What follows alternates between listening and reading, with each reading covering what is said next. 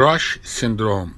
Crush syndrome occurs due to crushing accidents, such as those seen in war zones, industrial accidents, and natural disasters, drug overdose, or positioning in lung surgery. When the muscle is crushed, it results in muscle necrosis, rhabdomyolysis, and myoglobinuria. The crush injury causes muscle breakdown, and the toxic muscle cell component and electrolytes are released into the bloodstream, causing third spacing and acute renal failure. So, crushing of the limbs or the trunk can create a very harmful systemic effect, and that is crush syndrome.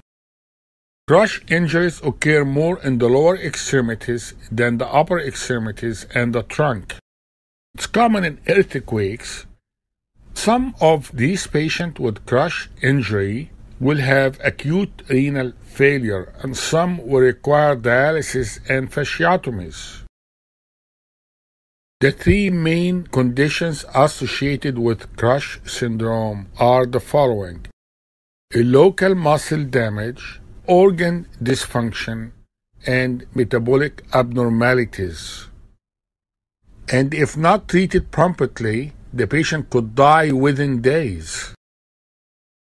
Etiology and common causes of crush syndrome drug overdose, trunk compression of the forearm and leg, surgical knee chest position, compression of the legs especially the anterior compartment, and crushing accidents. What is the pathogenesis of crush syndrome?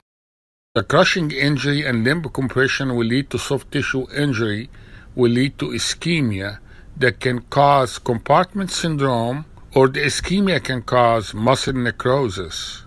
Muscle necrosis. This muscle necrosis occurs due to prolonged pressure, and muscle ischemia, and it will lead to the following.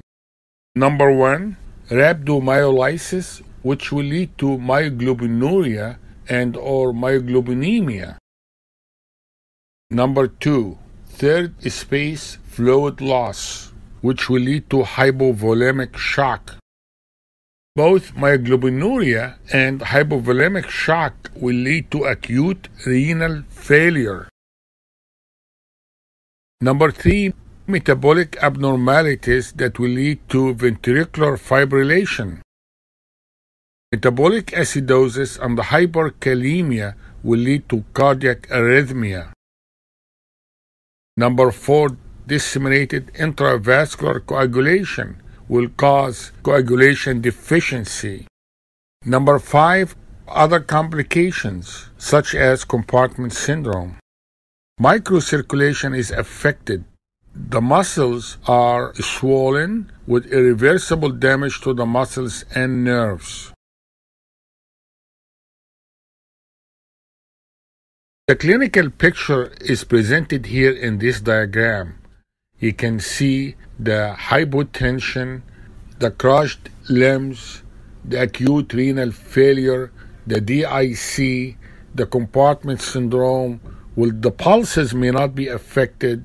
You can see the respiratory depression and also that ventricular fibrillation that may happen and the hyperkalemia and the metabolic acidosis. Treatment of crush syndrome. A multidisciplinary approach involving the medical and the surgical team is needed.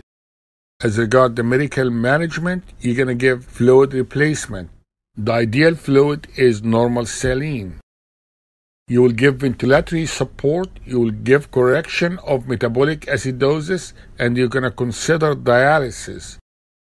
As regard the surgical management, you will do emergency fasciotomy. Compartment syndrome can occur even if the patient is trapped less than one hour. It can occur even without a fracture, and compartment syndrome can occur even with great circulation.